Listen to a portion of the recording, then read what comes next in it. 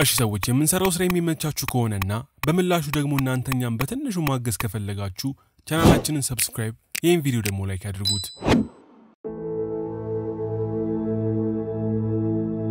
ታሪካችን የሚጀምረው በአሜሪካን ሀገር ሃደንፊልድ ከተማ ውስጥ ነዋሪ የሆነውን ማይክል የተባለን የአስር ዓመት ታዳጊ ልጅ እያሳየን ነው። ማይክል ከልጅነቱ ጀምሮ ከባድ የሚባል የአእምሮ ችግር ያለበት ሲሆን በትምህርት ቤት ውስጥ በተደጋጋሚ በሌሎች ተማሪዎች ጥቃት የሚደርስበት አሳዛኝ ልጅ ነው። ማይክል ዲቦራ ከተባለች እናቱና ሮኒ ከተባለ ሰካራምና ጨዋሂ እንጀራ አባቱ ጋር በአንድ ቤት ውስጥ የሚኖር ሲሆን ጁደዝ የተባለች ታላቅ እህትና ገና አንድ ዓመት ያልሞላት ሕፃን እህት እንዳለችው እናያለን። አንድ ቀንም ጠዋት እናቱ ዲቦራ ለቤተሰቡ ቁርስ እያዘጋጀች ባለበት ሰዓት ማይክል ቤት ውስጥ የነበረችን ትንሽዬ አይጥ ይይዝና በቢላዋ ሰውነቷን በመቆራረጥ ከገደላት በኋላ ቁርሱን ሊበላ ወደ ኩሽና ይሄዳል። ማይክልም ወደ ኩሽና ሲሄድ ቤት ውስጥ ያገኘውን ማስክ ፊቱ ላይ አድርጎ ስለነበር እንጀራ አባቱ ሩኒ ማይክልን ማስክ አድርጎ ሲያየው ማስኩን በማድረጉ ከጮኸበት በኋላ ማስኩን ከፊቱ ላይ መንጭቆ ያወልቅበታል። የዛን ዕለትም ማይክል ወደ ትምህርት ቤት ከሄደ በኋላ ማይክልን በማሰቃየት ከሚደሰቱት ልጆች ውስጥ ዋነኛ የሆነው ዌስሌ የተባለው ልጅ ከጓደኞቹ ጋር በመሆን እንደለመደው ማይክልን አግኝቶ ማሰቃየት ይጀምራሉ።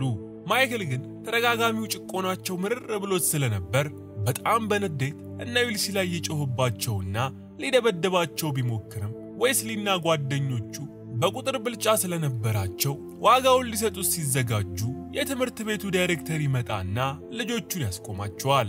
ማይክል ግን በነገሩ ተናዶ ስለነበር ዳይሬክተሩን መጥፎ ስድብ መሳደብ በመጀመሩ ዳይሬክተሩ ማይክልን ወደ ቢሮአቸው ከወሰዱ በኋላ እናቱ ዲቦራን ደውለው ይጠሯታል።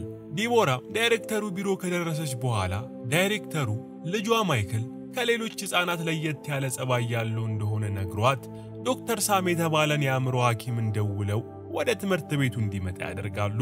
ዶክተር ሳምም የማይክል እናት ዲቦራን እንዳገኟት ልጇ ማይክል በትምህርት ቤት ውስጥ ስለሚያሳየው ለየት ያሉ ጸባዮች ከዳይሬክተሩ ጋር ሲወያዩ እንደነበር ከገለጹላት በኋላ ማይክል ከቅርብ ቀናት በፊት የሞተች ድመት በቦርሳው ይዞ መጥቶ እንደነበር የሚያሳይ ፎቶ ለዲቦራ ያሳዩታል። ዶክተር ሳምም አክለው ማይክል ምናልባትም ድመቷን ራሱ ገድሏት ሊሆን እንደሚችል ከነገሯት በኋላ የጸባዩ በዚህ ከቀጠለ ወደ ከባድ ደረጃ ሊሸጋገር እንደሚችል ለዲቦራ ይገልጹላታል። ማይክልም እናቱ ዲቦራ ከሰዎቹ ጋር እየተነጋገረች ባለችበት ሰዓት ከትምህርት ቤት ሮጦ በመውጣት ወደ ቤቱ መሄድ ይጀምራል። ነገር ግን መንገድ ላይ ትምህርት ቤት ውስጥ የሚያሰቃየው ዊስሌ የተባለው ልጅ ብቻውን ሲሄድ ያየውና ማይክል አነስተኛ የዛፍ ግንድ በማንሳት ዌስሌ የተባለውን ልጅ መጥቶት መሬት ላይ ይጥለዋል። ማይክልም በዚህ ሳያበቃ ዌስሊን እንደ እባብ አናት አናቱን ብሎ ቀጥቅጦ ከገደለው በኋላ ምንም እንዳልተፈጠረ ሁሉ ወደ ቤቱ ያመራል። ምሽትም ላይ ዲቦራ ሥራ ከመሄዷ በፊት ለማይክል እህት ጁደዝ ማይክልን ሰፈራቸው ውስጥ የተዘጋጀ ክብረ በዓል ላይ እንድትወስደው ነግራት ወደ ሥራ ብታመራም ጁደዝ ግን እናታቸው እንደወጣች ፍቅረኛዋን ስቲቭን ወደ ቤት ትጠራውና ማይክልን ዛሬ የትም እንደማይሄዱ ትነግረዋለች። በዚህም በጣም የተበሳጨው ማይክል ወደ ደጅ ወጥቶ ረጅም ደቂቃዎችን ብቻውን ከተቀመጠ በኋላ ወደ ቤት ሲመለስ እንጀራ አባቱ ሩኒ ሶፋ ላይ ተኝቶ ሲያንኮራፋ ይመለከተዋል። ማይክልም እንጀራ አባቱን አምርሮ ይጠላው ስለነበር ሁለቴ እንኳን ሳያስብ ወደ ኩሽና በመሄድ የሽንኩርት ቢላ ይዞ በመምጣት ሮኒን በተኛበት ደጋግሞ ወቅቶ ይገድለዋል። እኩለ ሌሊት ላይም የጁደዝ ፍቅረኛ የሆነው ስቲቭ ውሃ ለመጠጣት ከጁደዝ ክፍል ወጥቶ ወደ ኩሽና ሲመጣ ማይክል ይመለከተውና እሱንም በቤዝቦል ዱላ አናቱን መትቶ ከጣለው በኋላ በወደቀበት በተደጋጋሚ ደብድቦ ይገለዋል። ከዚህም በኋላ ማይክል የሽንኩርቱን ቢላ ይዞ እህቱ ጁደዝ ክፍል ሲሄድ እህቱ ክፍል ውስጥ ስቲቭ ይዞት የመጣውን አስፈሪ ማስክ ወድቆ ያገኛል። ማይክልም አድርጎት የነበረውን ማስክ አውልቆ የስቲቭን ማስክ ካደረገ በኋላ ሰፈር ውስጥ የተዘጋጀው ክብረ በዓል ላይ አልወስድህም ብላ ያበሳጨችውን እህቱን ወቅቶ ይገላታል።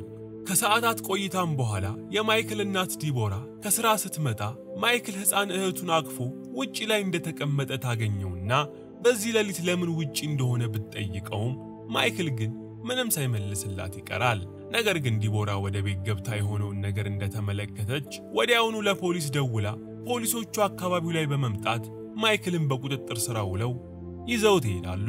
ከዛች ዕለት ጀምሮ ማይክል ታዋቂ የሆነ የአእምሮ ህሙማን ማገገማ ማዕከል ውስጥ ገብቶ ዶክተር ሳም የማያቋርጥ የሕክምና ክትትል ለማይክል ያደርጉለት ይጀምራሉ።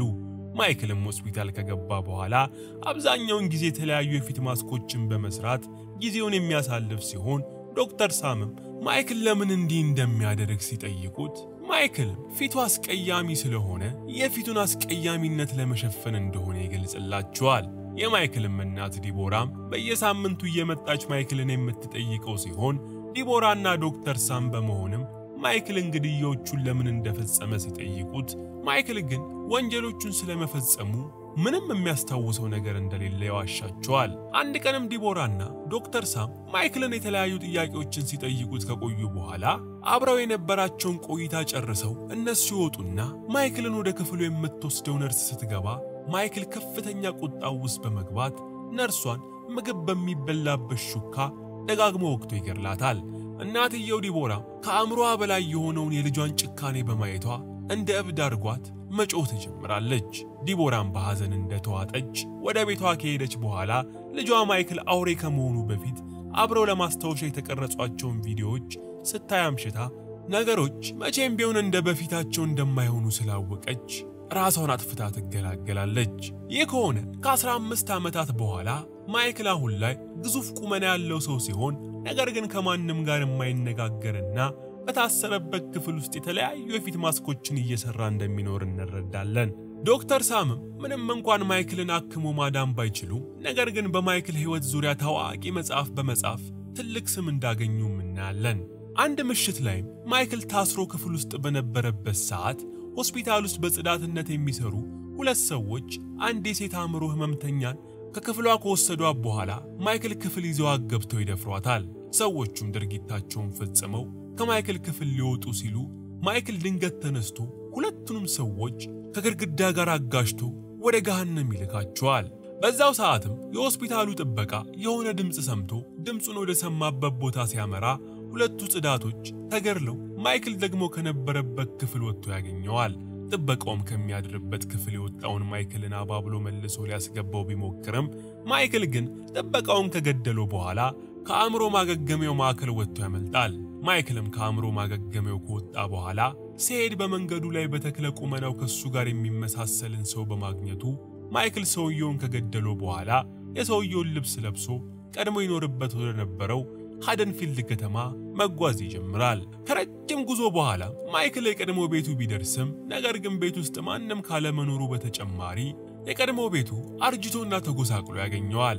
ማይክልም ወደ ቤቱ ገብቶ ከመታሰሩ በፊት ቤት ደብቆ ያስቀመጠውን የሽንኩርት ቢላና ማስክ ከደበቀበት በማውጣት ቀጣይ ሽብሩን ለመፈጸም መዘጋጀት ይጀምራል። ከነ ማይክልም ቤት ትንሽ ራቅ ብሎ ሎሬ የተባለችን ከማደገው እናትና አባቷ ጋር የምትኖርን አንዲት ቆንጅዬ ልጅ እንመለከታለን። የሎሪ የማደጎ አባትም በከተማው ውስጥ አለ የተባለ ደላላ ሲሆን የዛን ዕለትም አባቱ የነ ማይክልን ቤት ሊገዛ የሚፈልግ ሰው እንዳለ ለሎሪ ከነገራት በኋላ የመሻሻጫ ውሉን እነ ማይክል ቤት እንድታደርስለት ስላዘዛት ሎሪም አባቷ ያዘዛትን ወረቀት ይዛ እነ ማይክል ቤት አስቀምጣ ትመለሳለች። ነገር ግን ማይክል ሎሪ ወረቀቱን በበር በኩል አስቀምጣ ስትሄድ ስለተመለከታት ማይክል ከቤት ወጥቶ ሎሪን መከተል ይጀምራል። ከዚህም በኋላ ሎሪ ጓደኞቿ ከሆኑት ሊንዳና አኒ ጋር ወደምትማርበት ኮሌጅ ስትመጣና ስትሄድ ማይክል ከርቀት እየተከታተለ መመልከት ይጀምራል። በቀጣይም ቀን ምሽት የሎሪ ጓደኛ የሆነችው አኒ ከፍቅረኛዋ ጋር አሪፍ ምሽት በቤቷ ለማሳለፍ ስለፈለገች ጓደኛዋ ሎሪ ያን ምሽት ታናሽ ወንድሟን እንድትጠብቅላት ትጠይቃትና ሎሪም የአኒን ታናሽ ወንድም ለመጠበቅ ትስማማለች። ሌላኛዋ የሎሪ ጓደኛ የሆነችው ሊንዳም ያን ዕለት ምሽት ከፍቅረኛዋ ጋር በመሆን ወደ እነ ማይክል ቤት ከሄዱ በኋላ ቤት ውስጥ ማንም አይኖርም ብለው በማሰብ ፍቅር መስራት ይጀምራሉ። ሊንዳና ፍቅረኛዋም የልባቸውን ካደረሱ በኋላ ማይክል መጀመሪያ የሊንዳን ፍቅረኛ ቀጥሎ ደግሞ ሊንዳን ይገድላቸዋል። ከዚህም በኋላ ማይክል ቢላዋን ይዞ በቀጥታ ወደ ሎሪ ቤተሰቦች በማምራት የሎሪን የማደጎ እናትና አባት ቢገድላቸውም ሎሪ ግን የአኒን ወንድም ለመጠበቅ ወጥታ ስለነበር ማይክል ሳያገኛት ይቀራል። አንዴ መግደል ከጀመረ መቼም የማያቆመው ማይክልም በቀጣይ ደግሞ የሎሪን ጓደኛ አኒ ቤት በመሄድ አኒና ፍቅረኛዋን ወደ ሰማይ ቤት ይልካቸዋል። ከሰዓታትም በኋላ ሎሪ የጓደኛዋን አኒን ታናሽ ወንድም ይዛ ወደ አኒ ቤት ብትመለስም ነገር ግን አኒና ፍቅረኛዋ በአሰቃቂ ሁኔታ ቤት ውስጥ ተገድለው ስላገኘቻቸው ሎሪ በድንጋጤ የምታደርገው ሁሉ ይጠፋታል።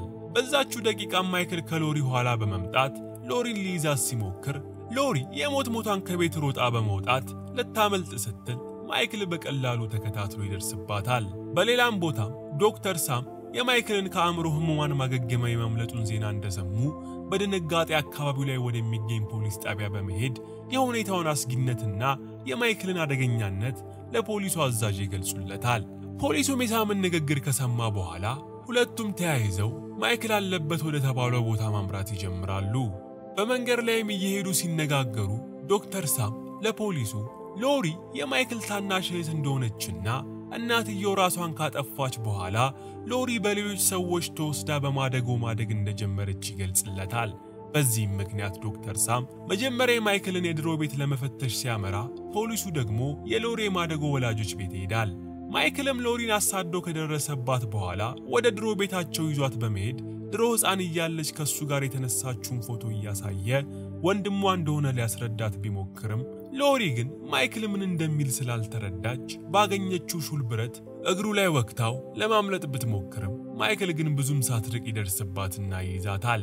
በዚህም ሰዓት ዶክተር ሳም በቦታው ደርሰው ማይክል ላይ በተደጋጋሚ የተኩሱበትና ማይክልን መሬት ላይ ከጣሉት በኋላ ሁለቱም ከአካባቢው ለመሸሽ መዘጋጀት ይጀምራሉ። ነገር ግን ማይክል ማንም ባላሰበው ሁኔታ ከወደቀበት በመነሳት ሎሪን ከመኪናው ውስጥ ጎትቶ አውጥቶ አንገቷን ሰብሮ ሊገድላት ሲል ሳም ሎሪን እንዳይገድላት ማይክልን መለመን ይጀምራል። ማይክልም የሳምን ልመና ይሰማና ሎሪን ለቆ ዶክተር ሳምን አፈፍ አድርጎ በመያዝ በአሰቃቂ ሁኔታ አይናቸውን ጎልጉሎ አውጥቶ ይገላቸዋል። ሎሪም ይህን አጋጣሚ በመጠቀም ከዶክተር ሳም እጅ የወደቀውን ሽጉጥ ይዛ ለማምለጥ ስትሞክር ማይክል ይደርስባትና ሁለቱም ተያይዘው መታገል እንደጀመሩ ድንገት ሳያስቡት ከከፍታ ቦታ ወደ መሬት ላይ ወድቀው ይፈጠፈጣሉ። እንደ አጋጣሚ ሆኖ ሎሪ ማይክል ሰውነት ላይ ስለወደቀች ብዙ ጉዳት ሳይደርስባት ቢቀርም ማይክል ግን ለደቂቃዎች ያለ ራሱን ስቶ ይቆያል። ሎሪም ይህን አጋጣሚ በመጠቀም ሽጉጧን አንስታ ማይክል ላይ ልትተኩስበት ስትል ማይክል ድንገት ይነቃና የሎሪን እጅ ግጥም አድርጎ ይይዛታል።